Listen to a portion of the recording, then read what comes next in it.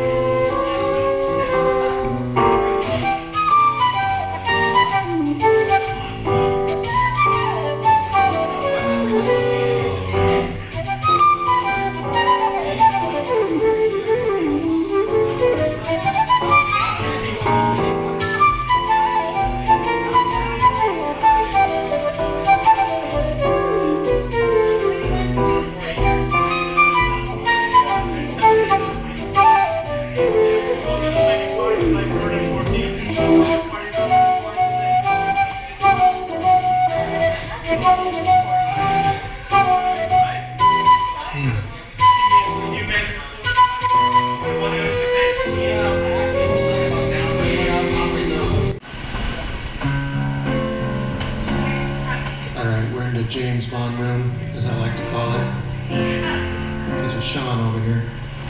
So we have to do at least one James Bond song.